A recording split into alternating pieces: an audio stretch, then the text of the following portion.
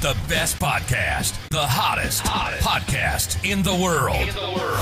The Chris Voss Show, the preeminent podcast with guests so smart you may experience serious brain bleed. Get ready, get ready. Strap yourself in. Keep your hands, arms, and legs inside the vehicle at all times, because you're about to go on a monster education roller coaster with your brain.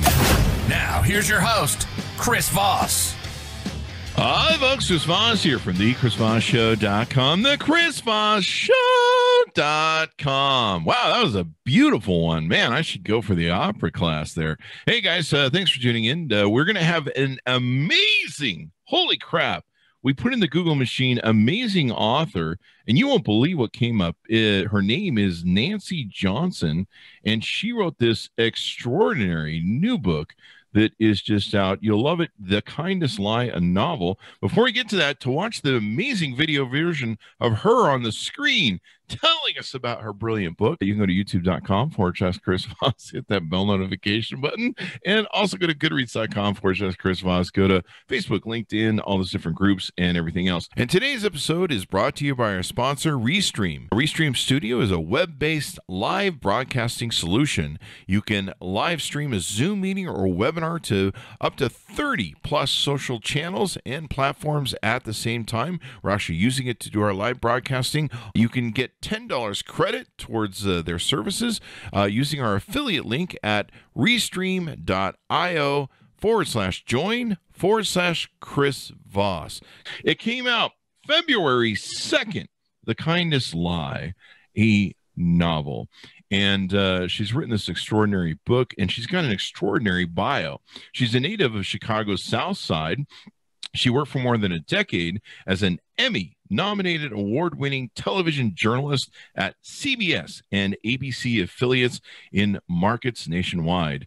Her debut novel, The Kindest Lie, has been reviewed by the New York Times, the Washington Post, the Los Angeles Times, and is featured on Entertainment Weekly's must list. It has been named one of the most anticipated books of 2021 by Newsweek. Oh, the Oprah Magazine, Shondaland, NBC News, Marie Claire, Elle, the Chicago Tribune, the New York Post, Good Housekeeping, Parade, Refinery29, and more. More than that, even. So, uh, booksellers nationwide select your novel as an indie next pick, and librarians chose it for library reads. That's when you know you've really made it when those librarians step in. Everyone trusts a librarian. Nancy's work has been published in Real Simple and Oh, the Oprah Magazine. She's a graduate of Northwestern University and University of North Carolina at Chapel Hill. She lives in downtown Chi Town, Chicago. Wait, is that the same? Yeah. And manages brand communications for a large nonprofit. How are you? And welcome to the show, Nancy. Hey, Chris. It's good to be here with you. It's wonderful to be with you. Congratulations on the book. Thank you. It's been a whirlwind, and I'm having fun like I am right now. There you go. We're glad you're having fun on the show. That's the whole reason to come on here and also move some books. Is Chi Town Chicago or is Chi Town a suburb of Chicago? Chi Town is just another way some people say Chicago. All right. So why are they so shy? Some people say the Chi. well, I think that's kind of more current than Chi Town. There you go. I, the people of Chicago are so wonderful. I remember going there and just wandering around the city one day for a whole gig of shooting phot- photography, and then I went to the famous pizza places, and people were talking to me, and they're just so damn friendly. And it started creeping me out after a while because they weren't shy. Yeah, so, you're like, why are you talking to me? What's yeah, I'm like, at first I was like, this is cool. I'm adventuring in the city, but then I'm like, hey, you need to leave me alone and let me eat this pizza, and you're not my type but but they were really nice wonderful people in that town. Give us your plugs. Give us your dot coms so people can uh, find out more about you and order this book up. Sure. So my website is nancyjohnson.net and then i'm on twitter and instagram and my handles there are at nancy j author and then i'm on facebook and that is nancy johnson author. So i'm active on all social media so you can find me there and i'll respond to you there you go. And you've got the whole Room Rater background going there. You fun, got these fun fact. I actually was rated by a Room Rater. Ah, I got what, 10 what out of 10, you? honey. what did they what was the rating they gave 10 you? out of 10. 10 out of 10. 10 out of 10. Yeah, wow. I was surprised to see yeah. that. I'm yeah. still waiting. And then somebody reading. told somebody was saying I needed a pineapple in the background. I don't understand what the whole pineapple thing is. There's something they've got with pineapple. Really? So I have no idea what that means, but someone said that could take me above a 10 if I had a pineapple. Hey, staff, get a damn pineapple in here. No, I'm just kidding. Oh, so you've got the beautiful background. So those of you who are listening to this podcast, watch on YouTube. So Nancy, what motivated you want to finally write a book? You've got this extraordinary journalist career. What made you sit down and go, I'm writing a book? Yeah, I've always been a writer. I like to say I know when I really began to love writing, and that was in first grade. I don't know if you remember those books that people used to have, those memory books where you'd write down these are my favorite things to do in ah. kindergarten and first grade and all the way up through 12th grade. Maybe it was just because I was a nerd at an early age that I had those, but uh, I, I, I, found my book. And in kindergarten, my favorite activity was reading. And then I saw in first grade, I had added an activity. And so I loved reading and writing. And so I can say honestly that I've been writing since, uh, you know, about six years old. And so I've always loved being creative. And then I went on and pursued a journalism career. And that's where I really built my storytelling chops. But I got tired of that because it turned into if it bleeds, it leads. I'd be on this really great feature story and the scanners would go off, my pager would go off. There was a murder a couple counties over, and I had to abandon the story I wanted to cover to go do that. And uh, that's why I got out of news and moved into corporate communications, which is what I do now. However, I have always wanted to tell stories that were not the stories making news or the stories about whatever was happening uh, in my organization. I wanted to tell the stories of my own imagination. And so I always knew that at some point I would try my hand at writing a novel.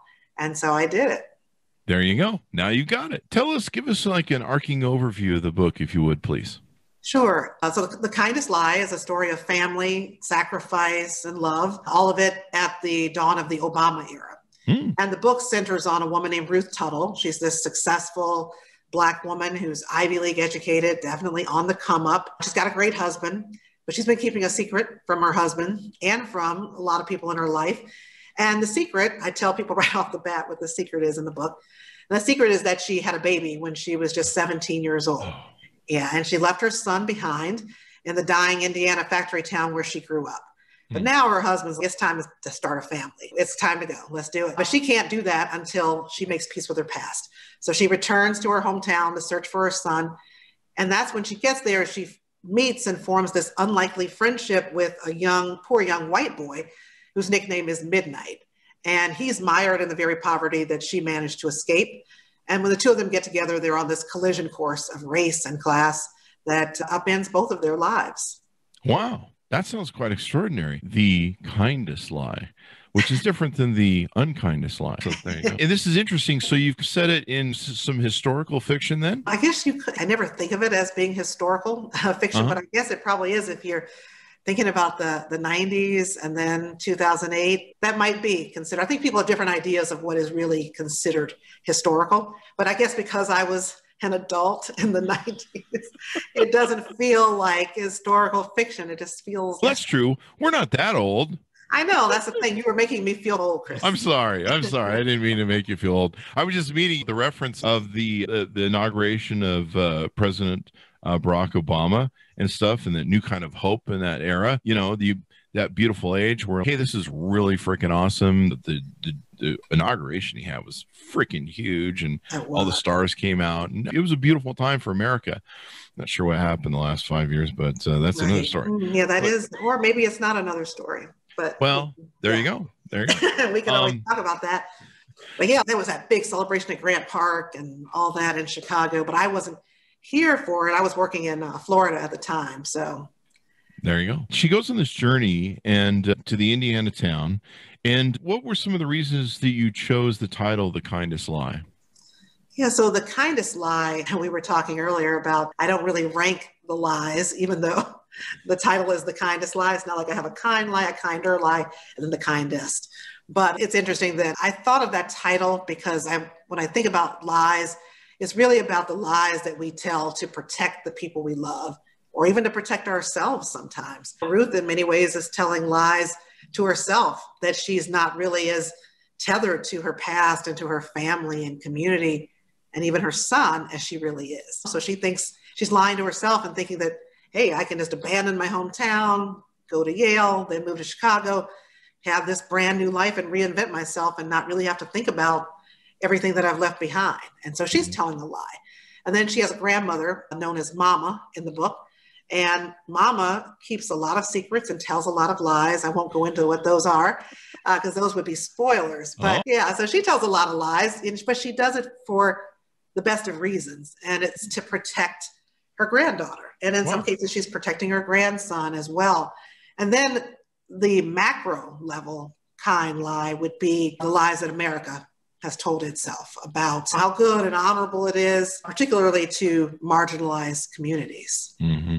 Yeah, we've been doing that for 450 years. It's pretty awful. Yeah. We need to stop it. We need to knock right. it off. We've done a lot of social justice interviews and, and book authors on the show. And yeah. until we settle all this racism and all the shit we've done for 450 years, we're just never going to be well. We just, in fact, it's getting worse because we're not fixing it. But uh, yeah, and I think it impacts everybody. I think a lot of times when we talk yeah. about issues of race, people automatically think, "Oh, this is only about doing something for Black people." This is about all of us, and we're not, none of us. We're not going to be able to heal any of us or the, the, nation until we deal with what I think is America's uh, original sin, which yeah, is racism. The original sin. A rising tide lifts all boats, and sadly, a lot of people think of helping uh, marginalized communities as uh, scarcity sort of thinking. If I help that person, I have to take from me to give to them. That's not the way it works. And so a rising tide lifts all boats, and everyone can contribute. And that that used to be the beautiful thing about this country when people came here in the to New York in the late 1800s and early 2000s. I'm a descendant of uh, one of my great grand great grandson. I think that's what it is. My great grandfather came from Germany in the 1800s. I'm an import last time I checked. And this whole thing of this melting pot of what America is and how it makes it better. But unfortunately, sadly, everyone's got to be like, it's that guy who's stealing from you or stealing from you. Look over there. And they pick your pocket. So I like what you said about the scarcity mindset. That's so true. That's one of the things I was trying to point out in the book when I was showing certain segments, at least, of white America that particularly Midnight's father, Butch Boyd, that character, he's got some bigoted views, uh, mm. you know, and they're and I think he's somebody who has that. He's lost his job at the auto plant, so he's down on his luck in many ways. And I think he has that, what you described as that scarcity mindset where you think that a dollar in somebody else's pocket is a dollar less in mine. Yeah. And you and your kids have, you know, advantages and you're able to get ahead and be successful because there's less for me and for mine. And that's what we see. And I think in many ways we're trained in, in this country and all around the world, I think, to think that way, that there always has to be somebody below you. Otherwise, you can't really excel. Yeah. The pie is never big enough for everybody to get a piece of it. I think it's Mrs. Wilkerson. She talks about that oh, in yeah, book on Caste. I just started reading that. That's a brilliant book. It's yeah. very tough. I've had to stop and cry a few times, many times actually.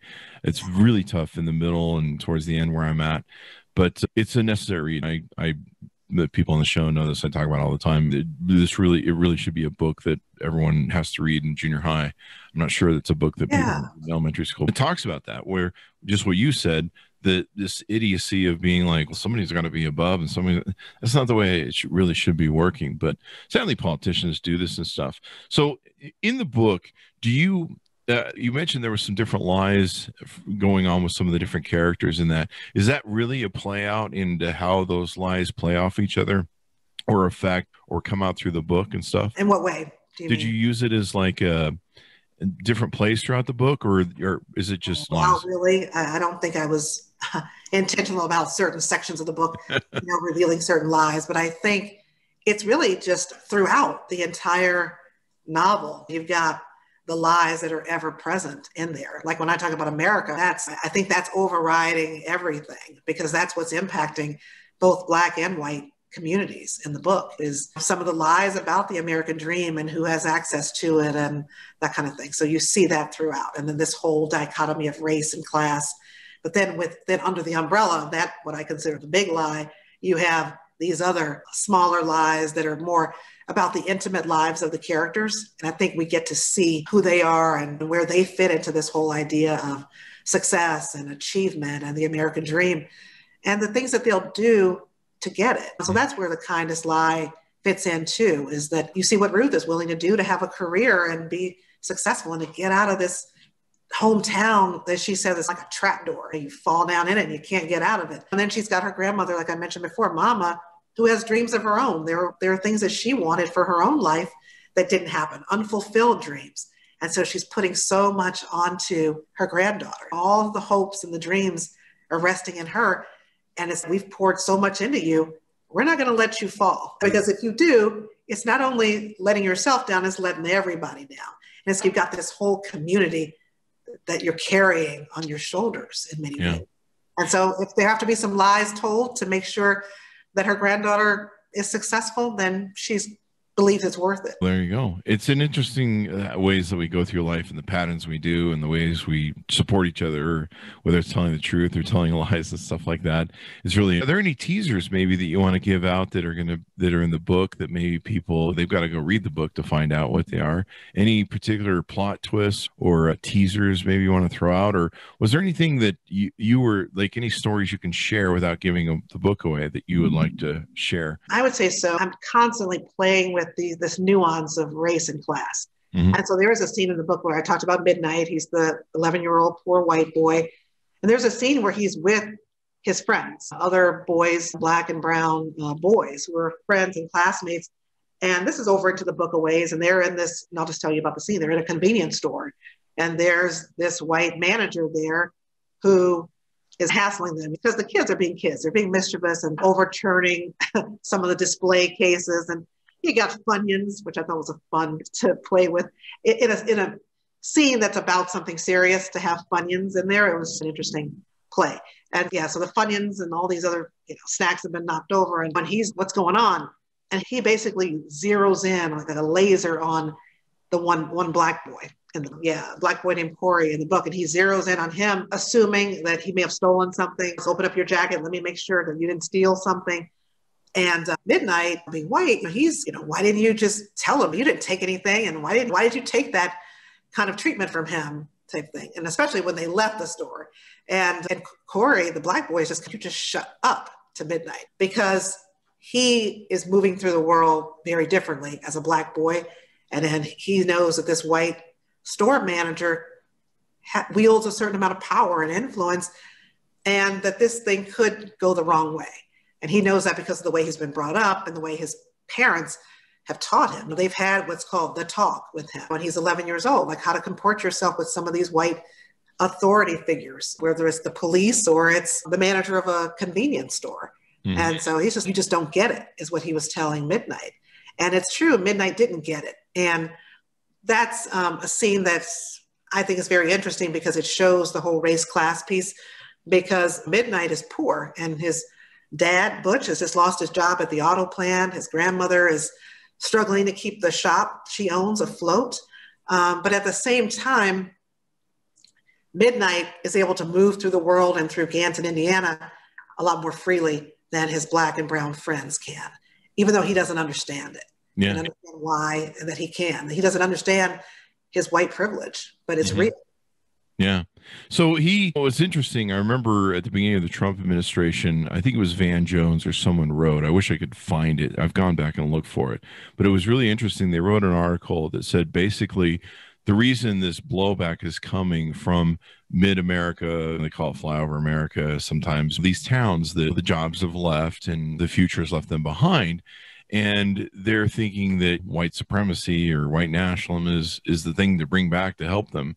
And i remember they wrote something that basically was to the thing that the problem with what's going on in these white towns or these white people is is they're finally finding out what it's like to be eco- economically marginalized, to have a hard time getting jobs, to have a hard time getting stuff that a lot of other marginalized communities have been going through for 50, 100 years in, in big cities and different communities as well.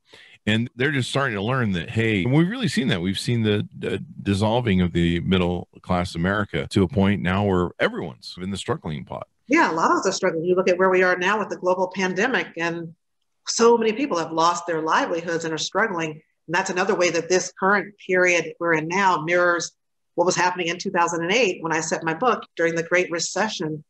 And yeah, I agree that there's some of these jobs are never coming back. Yeah. and they, the manufacturing sector, some of that's gone. And, and people are struggling. And it's not only the loss of the jobs, but it's the changing demographics in the mm-hmm. country. It's huge. We're seeing the browning of America. And we are hearing the statisticians say that soon that white people will be in the minority in this country. And that's something that there some people are fighting hard against. I? And so there's and so then you have a, a president like a Donald Trump, who used to be a Democrat, becomes a Republican. He's going to do what's in his self-interest politically, and he's reinforcing some of these fears that some of those working class white people have about what they're losing. And so that's what it means to make America great again. It's like, when was it great before? And what, what era are we trying to go back to? And I think he's speaking to some of those fears, people who want to go back to the way things used to be when they were clearly in the majority and, and that marginalized people were even more marginalized than they are today. And so that's what they're harkening back to. And I think that's what we saw with the Trump era. And yeah. Uh, we'll still continue to see it. We saw it with the insurrection at the Capitol. That's part of what that was about. And, and that's not over. Yeah. Just seeing the Confederate flag in the Capitol, that made me mental. It still makes me mental to this Yeah, day. the Confederate flag and seeing a noose and all kinds yeah. of yeah, just insane. The yeah, I remember seeing it in the Capitol and thinking I I was having such an anxiety fit that day. I thought I was gonna have a heart attack just watching it. I was so angry, and and I had to go lay down. I had to just be like, if I don't lay down, I think the old heart's going to burst out of his chest. But yeah, it's there's a lot of unresolved things in this country. And so, is your hope that maybe profiling some of these things in your book about class and race, is there hope that as people read it, regardless of what side they're on, or there's not really sides, we're all human beings, but regardless of who reads it, they can see some of the issues that are there and maybe learn a little bit about about just not the beautiful stories you've written in the novel, but also maybe learned a lesson with race and class. Definitely. That's something that I wanted to do with this book for sure. The goal is for people to experience life through the shoes and through the lens of somebody they never would have ever met before or ever mm-hmm. walked in their shoes before. Uh, and I think a lot about now, I look back on it, I think about last year with the, the murder of George Floyd. And now we're watching his trial on TV right now. It's just heartbreaking to when we relive it. But after his death, there were so many in white America in particular who started their anti-racism journeys and they were reading uh, a lot of the nonfiction books, which are very good books to be reading. But I think in some ways it creates this sense of defensiveness. Okay, you're telling me about this is what white privilege is and what white supremacy is and all this stuff and, and what racism is about. And then it, it, I think it makes some say, wait, wait a minute, that's not me. Accusing me of being a racist. If some people feel attacked when they do that kind of reading. And but I think there's this power with fiction though to help us to real people to really get into these issues and to understand where they might fit because it works on them in a more subtle way when they fall into the story and the characters. And you get to know these characters then you start to see things that maybe you didn't see before when you were reading um, a nonfiction book that was outlining racism in a very analytical and clinical way. But here, with fiction, we're pulling, I'm pulling at your emotions, your heartstrings. And, and that's the way I think to really get people to think about it and to also build empathy. I love how you describe that because, yeah, sometimes the nonfiction books, and we've had a lot of great authors on. Sometimes it is clinical. Here's what racism is, and here's how it's bad, and that's helpful. But, but in your sense, one of the things that Martin Luther King had said was one of the problems is we don't live together in communities. We're separated. And even more so, like when Eddie Glaude Jr. Uh, came on the show, we were talking about how freeways and redlining and everything, Jim Crow laws of naming streets after certain Confederate generals to keep people from moving in, the Confederate uh, statues and stuff. All of this was designed to keep us apart. And the more apart we are, the less we understand each other. So the more suspicious we are of each other and the more we're there's no empathy like you mentioned where we go this is another human being just like me and they have hopes and dreams they have children they they want the best for their children. They're just everybody's a human being and, and learning about each other's ways and cultures, the way we do things, and just being comfortable with that as opposed to being like, I don't know what's going on over there. I'm worried. And everything is so segregated. Chicago, which is known for being one of the most segregated cities mm-hmm. uh, in the country. And so we live in separate neighborhoods quite often. And mm-hmm. even if your neighborhood is integrated, quite often I think about do you really know your neighbors or the people around you who may be of a different race or ethnicity. Because quite often we socialize with the people who are most like us. That's who we're having dinner with, that's who we're going to movies with and playing cards with. It's the people most like us. That's for the most part, that's what's happening. And we're not really getting to know each other. Yeah, I remember growing up when I was a kid. You, we knew our neighbors. We'd go and have dinner with them, and he borrows salt and sugar and stuff. Even up here, we have an all-white neighborhood in Utah because it's Utah. Yeah. And we still don't know our neighbors because that's what people do nowadays. I'm not talking to that dude. But no, it's uh it's an interesting thing. And I love how you weave that into a story so people can get it. Because that's definitely what we need is more empathy. We need to understand each other as human beings. We need to care for each other and, and we need to learn each other's journeys and what we're going through because everyone's got a story and everyone's going through a journey and understanding that can make things a lot better. Anything in the book we haven't touched on that you want to mention? Yeah, I would say the things that the people do to ensure or try to ensure the success of their children. I don't know if you picked up hair was a big focal point in the book. And there's this scene where Ruth goes home to um, her grandmother's house and she hasn't seen her in many years. And the first thing that, or one of the first things that her grandmother, the character of Mama, says is, you got to do something about that wild hair of yours. And Ruth is wearing her hair in a natural hairstyle. So it's not, it hasn't been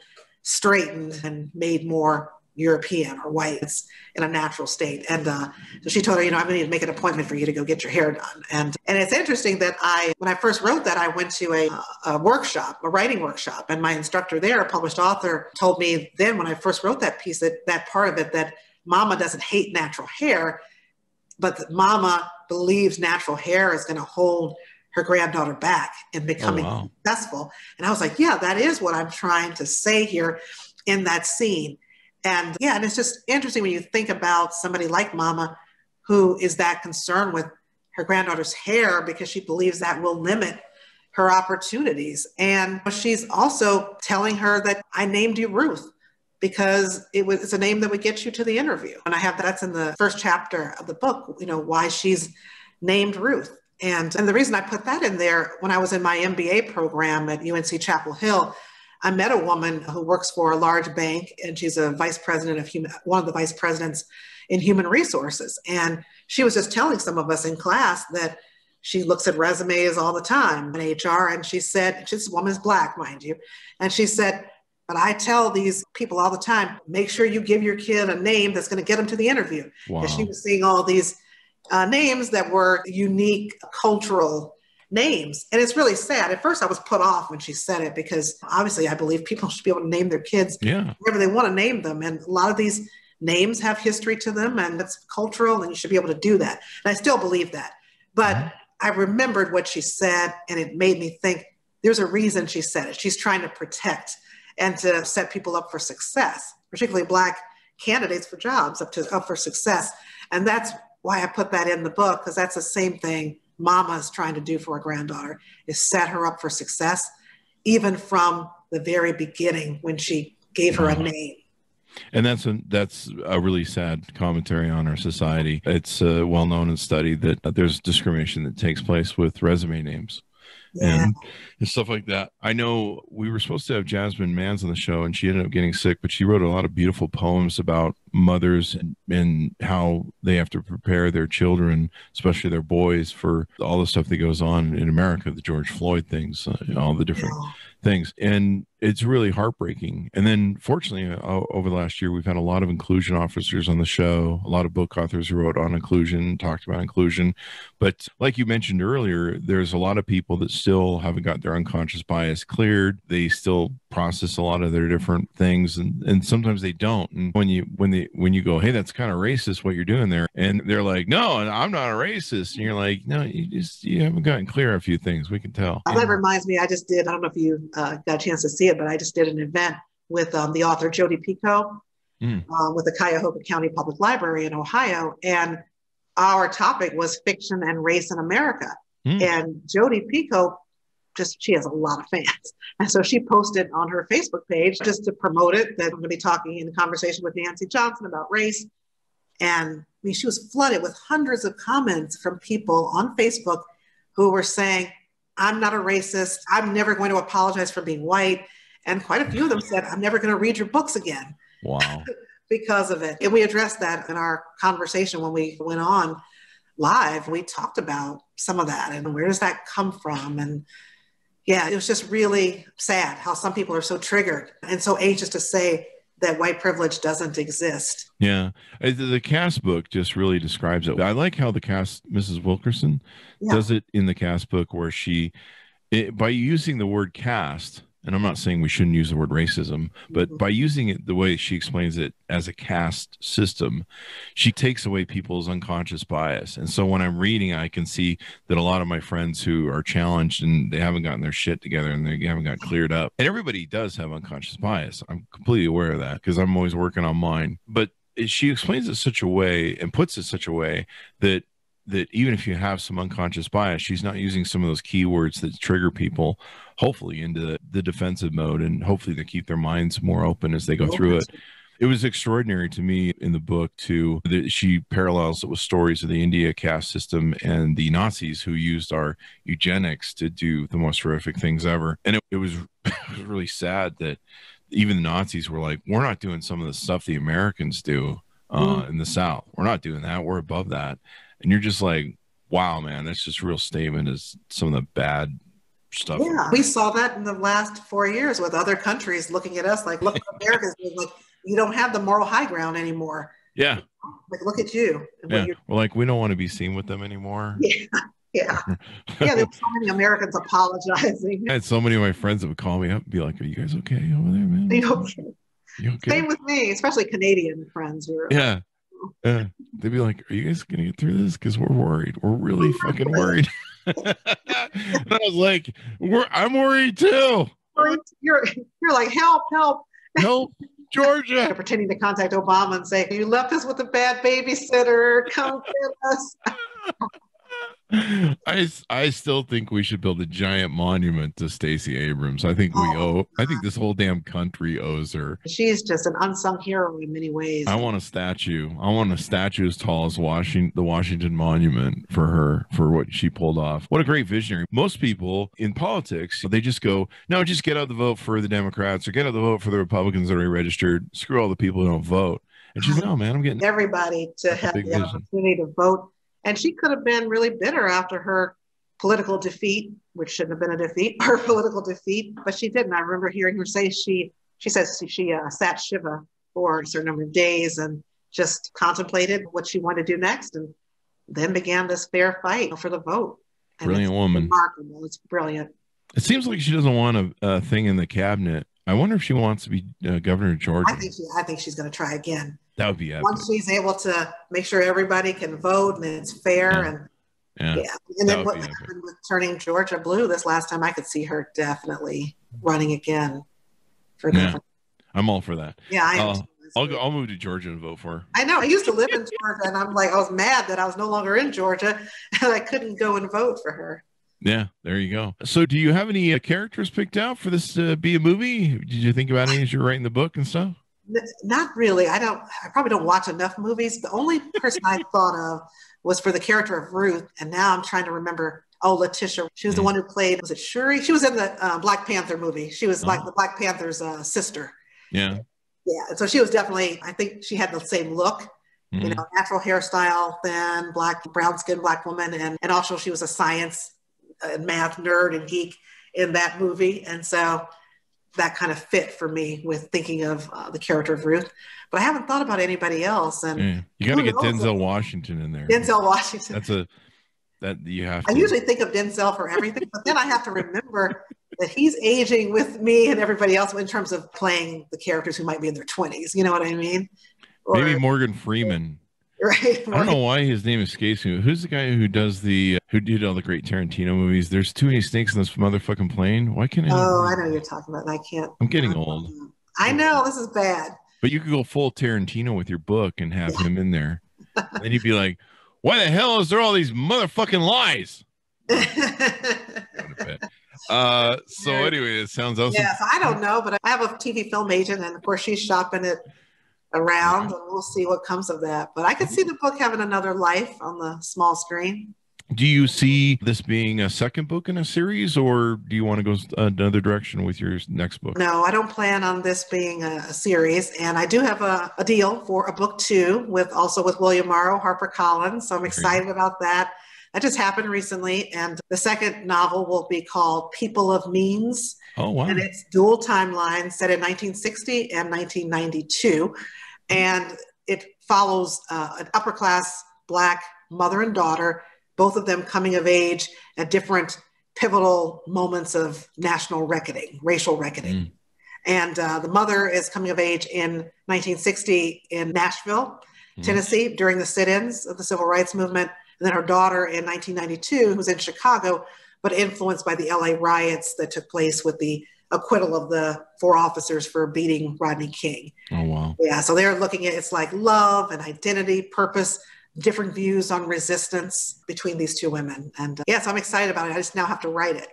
There you go. Now you got to write it. You got the contract, you got the deal. I know. So the pressure to actually write it. Whereas the there first book with the kindest lie, it took me six years to write because nobody was waiting for it. Mm-hmm. So now I got. Um, now you got the gun to your head. You got the whole. You got the agent calling, going, "Hey, you got that book ready?" yeah, and there's pressure. I was saying this in um, an event recently. I was saying there's all this self-imposed pressure for book yeah. two, and the woman interviewing me said, "Oh no, it's not just self-imposed."